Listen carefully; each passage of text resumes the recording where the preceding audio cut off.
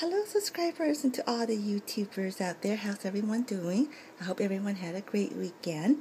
Um, I'm at work right now. I'm in the copy room. Um, I just want to, um, because I couldn't wait to do my video. I got this um, last night, and so I just want to do it this morning. That I got a new pair of running shoes, and as you know, in, whenever you run a certain amount of miles, you should get new ones because of the treads and if the treads are flat, it's not good for your running. So I just wanted to share with you what I got. Um, I got a size seven and a half, but my normal size is supposed to be six and a half. But then I learned that um, I wear a size seven on one foot and six and a half on the other.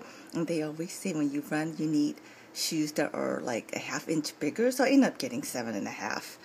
But it still fits fine. It's not loose or anything and um, these are the Kayanos, gel Kayanos. Normally they run for $149.95 or 150, but if you have a coupon like I did, um, I had it for $20 off of that. And so this is how it looks, and I just love it, love it, love it. I just, and it's really comfortable, and this is the sole of it. This on this side. And um, let me stand up so you can see how it looks from the top. Like this. I just love the colors, as you know. Um, these are my favorite colors. Um, pink, black, and um, green. But mainly it's mint green that I like. But this is called apple green. So, but that's fine.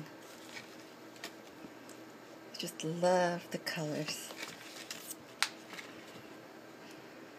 So I just want to share with you all what I got.